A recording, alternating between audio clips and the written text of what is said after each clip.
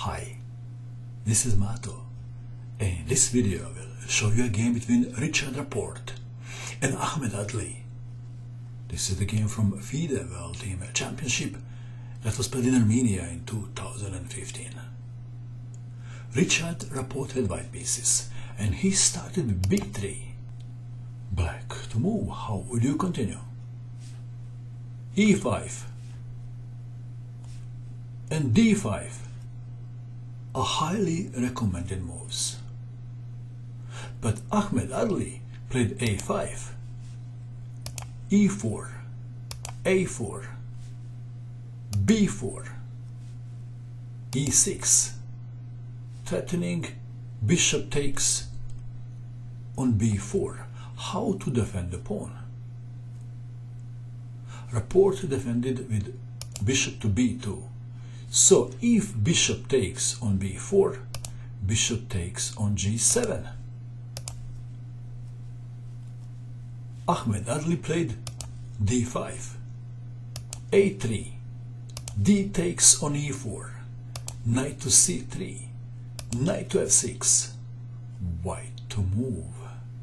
Richard Rapport played super sharp g4 move threatening g5, c5, b5, h6 preventing g5, bishop to g2, rook to a5, queen to e2, protecting the pawn with a second piece, bishop to d7, rook to b1, queen to c7, bishop takes on e4, knight takes bishop, Queen takes knight. Bishop takes on b5. Knight takes on b5. Rook takes knight. Queen takes on a4. Material is equal. Who is better? Black played a move that gave him huge advantage. What is the move? Please pause the video and find the best move for black. What did you find?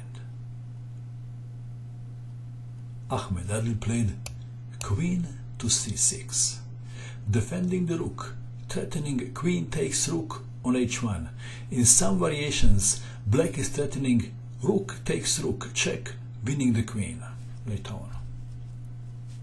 Knight to f3, black to move. How would you continue now if you had black pieces? Would you capture the knight? Ahmed Adly played the best move. Bishop to d6. Queen takes on f3 is very bad in view of queen takes on b5 check. Bishop to d6 is a little trap. White to move. White thought very hard, couldn't find a very good move now. He considered castling, of course he considered taking the pawn on g7. Let's see what happens if bishop takes on g7. Can you see now the best move for black? Then rook takes on b1 check, winning the queen. If castling black would castle 2 and after say king to g2 queen to b6 black is much better. So Richard Rapport played king to e2 looks funny but this is actually very good move under circumstances. Defending the knight connecting rooks now white is threatening bishop takes on g7. So this is not a bad move. Of course, that move has a tiny downside. Tiny downside is that the white king may become a sitting duck, waiting to be shot. Is it a tiny downside? The game continued c4, allowing white to capture the pawn on g7 with bishop. And white did.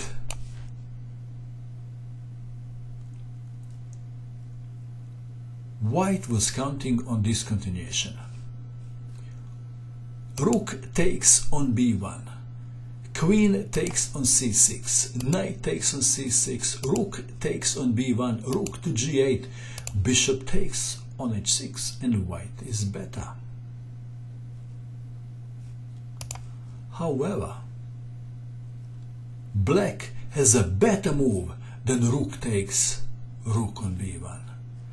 Please pause the video and find the best move for black. What did you find?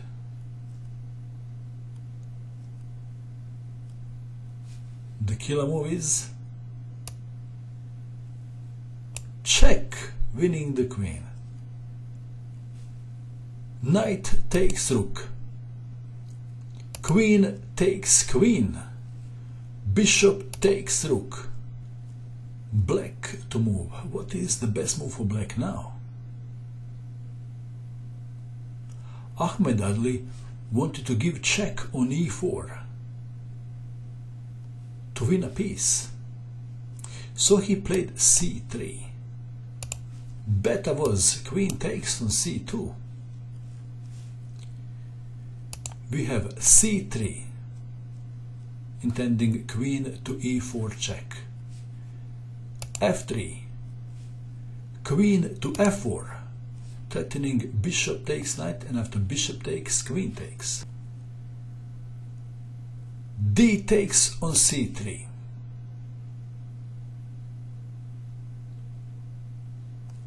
Black to move. What would you do if you had black pieces? Ahmed Adly played bishop to c5. If bishop takes on e5, rook to b4, attacking the queen, queen to g5, then h4, queen to g6, bishop takes on e5, it is not clear who is winning now. Maybe white. Maybe black. Hmm? Is black winning? So Ahmed Adly played a better move. Bishop to c5. Rook to b5 attacking the bishop. Knight to d7. Knight takes on d7 black to move, how would you continue now? Would you capture the knight? If king takes knight, rook takes bishop. Ahmed Adly played the queen to e3 check. King to d1. Queen takes pawn on f3 check. Rook stayed, white rook stayed on h1 to defend the pawn. And the cost is high, the rook is now the target of the queen king to d2, bishop to e3 check, king to d3, discover check, king to c4, queen takes rook, white to move. Perhaps the best move is knight to b6. White got dizzy from calculating too many crazy variations, played king to d4 and resigned in view of very simple continuation. King takes knight. And let's play one more dizzy move for white. Black to move and to checkmate in one. Queen to d5, checkmate. And let's go back to this very interesting moment of the game at move 18. This is the moment when black set a trap did you see the winning move in this position? If you did, congratulations. What do you think of this game? And that is all. I hope that you enjoyed watching this video. I wish you good luck with your chess and bye for now.